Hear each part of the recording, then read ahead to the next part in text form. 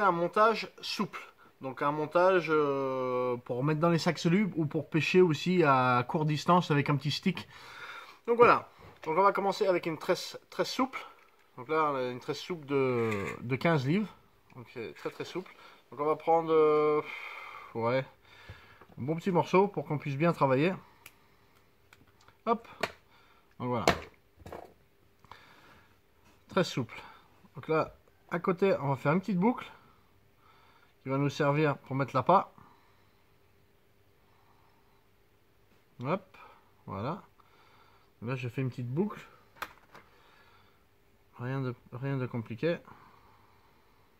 Voilà la petite boucle. Après, je vais couper l'excédent. Ciseaux. Moi, j'aime toujours mettre un petit coup de briquet derrière. Voilà. Donc là, on a la petite boucle. Hop.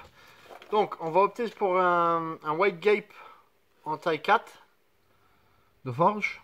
Très très piquant ces hameçons. Impressionnant. Hop. Voilà. Donc là, toujours l'extérieur vers l'intérieur. Voilà. Ça, je l'ai mis. Et après, on va prendre notre, petit anneau. Donc là, je vais mettre une petite anneau qui va nous servir comme de blowback.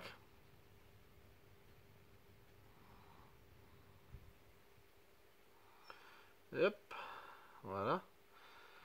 Donc euh, là, c'est pour utiliser des petits èches, donc j'ai pas besoin d'un cheveu hyper long. Donc je vais faire juste un nœud simple sur l'anneau. Voilà, je vais pas le serrer pour le moment parce que je veux voir, euh, je veux voir si je suis à la bonne distance. Donc là, je viens passer mon hameçon dans l'anneau, dans, dans comme ça. Hop. Et je viens le mettre derrière. Donc là, vous voyez, on a un cheveu qui est quand même assez long. Moi, je vais utiliser des èches assez courts. Assez euh, petits, donc euh, je devais un peu plus court. Après, vous pouvez mettre les èches et ajuster, au faire, rajuster comme ça maintenant. Mais moi, je sais à peu près, euh, voilà, ce qu'il me faut, quoi. Moi, j'aime bien laisser quand même un petit, un petit écart entre l'hameçon et puis l'èche. Voilà on va partir comme ça. Donc là, j'ai ça comme ça. Donc après, je vais faire... Moi, je fais trois tours. Et je ressors toujours l'extérieur vers l'intérieur. Très important. Hop. Voilà. Donc, on a ça maintenant. très souple. Et en plus, c'est une, une tresse qui coule très très rapidement. Donc voilà. Après, moi, ce que je vais faire, vu que c'est une tresse qui est assez souple, qui s'en mêle donc, moi, je vais utiliser un kicker. Là, il est court, mais vous pouvez, vous pouvez utiliser des plus longs. Donc, je vais prendre mon kicker. Je vais le mettre dessus. Comme ceci. Voilà. Prêt à mettre sur le, sur le montage. Mais avant ça, je vais mettre un tout petit peu de gaine thermo. Juste pour curver un tout petit peu l'œillet de l'hameçon. Donc là, j'ai pris un peu de shrink tube transparent, petit diamètre. Je vais venir le glisser sur l'œillet de l'hameçon. Et je vais le laisser dépasser de, 3 mm, comme ça. Après, je vais venir mettre, mouiller un peu l'aiguille, je vais venir mettre le kicker, le, anti-tangle sleeve. Voilà, celui-là il est en tungstène. Donc c'est toujours un, un, petit peu plus de poids pour euh, plaquer le montage sur le sol. Voilà.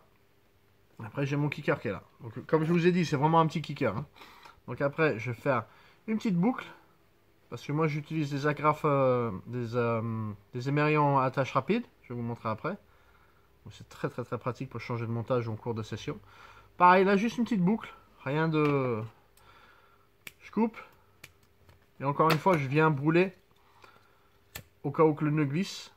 Voilà. Mais en principe, ça bouge pas du tout. Hop. Et là, je vais venir tirer. Sans se prendre l'hameçon dans le doigt. Voilà. Tac. Voici le montage. Et après, moi, ce que j'utilise, donc, c'est... Aïe, c'est un hameçon. Donc, c'est un émerillon à attache rapide. Donc, voilà. Donc, sur ce côté-là, vous avez un petit anneau pour attacher. Clac vous l'attachez. Et pour pas qu'il s'en va, vous venez monter votre kicker dessus. Voilà. Comme ceci. Je ne vais pas y aller. Voilà, comme ceci. Voici le montage. Et moi, ce que je vais utiliser, donc ça va, être dans, ça va aller dans un sac solube. Donc euh, le kicker, il n'est pas très important. Hein. là, je vais utiliser un wafter. Donc euh, ça, c'est une bouillette équilibrée. Donc après, attention, parce que les wafters, tout dépend du, poids de l'hameçon par rapport au, poids de la, poids de la bouillette. Donc là, j'ai jamais essayé les, ces wafters là avec ces hameçons là. Donc ça va être un premier pour moi aussi. comme je vous ai dit, moi je savais que je voulais juste un petit wafter.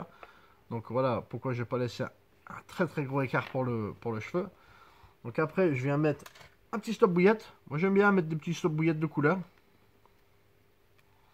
Petit stop bouillette derrière. Hop. Comme ceci. après, on va venir tirer pour rentrer les stop bouillettes. Donc voilà. Là, on a un montage discret qui passe partout. Donc là, on va faire l'essai. Donc c'est très important de faire l'essai dans l'eau. Donc là, je sais pas du tout. Moi, j'ai jamais, j'ai jamais essayé encore. Voilà, comme vous voyez, le pop-up, le, le, wafter, il est bien, bien, bien, bien, bien trop bouillant par rapport à Samsung. Donc là, ce qu'il faut faire, ça c'est pour ça que c'est important de les essayer avant. Donc là, ce qu'il faut faire, c'est soit, soit vous, vous augmentez euh, en taille d'hameçon, ou soit vous juste vous coupez un peu. Vous pouvez prendre un ciseau ou ce que vous voulez. Vous coupez un peu. on aurait pu mettre une petite chevretine ou un truc comme ça, mais c'est pas le but recherché. Nous, c'est vraiment euh, pas avoir de... Pas avoir d'autre chose à part le, le wafter, quoi. Pas grave s'il est pas rond. Euh, des fois, je pense que c'est même mieux. Donc voilà. On va réessayer. Là, vous voyez encore que... Voilà, c'est beaucoup, beaucoup trop... Euh, c'est beaucoup de trop. vous savez pourquoi? Parce que j'ai pris une pop-up. C'est pas les wafters que j'ai pris, hein, c'est des pop-up. Donc on va essayer vite fait avec une wafter. Oh. Quel idiot. Hop. On enlève ça. Se débarrasser du pop-up. Et là, on va mettre un wafter. Là, c'est bien les wafters. Je me disais aussi. Hop. On va repercer. On va faire comme tout à l'heure.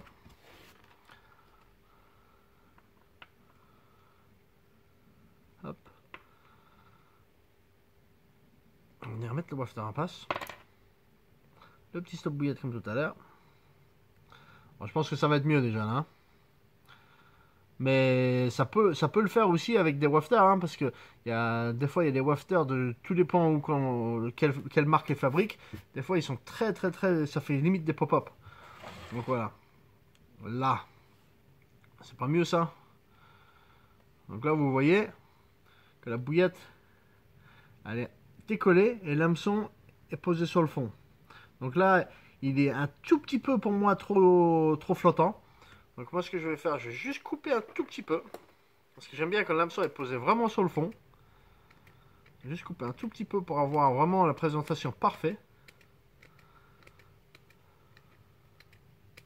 ça c'est hyper important aussi. Là.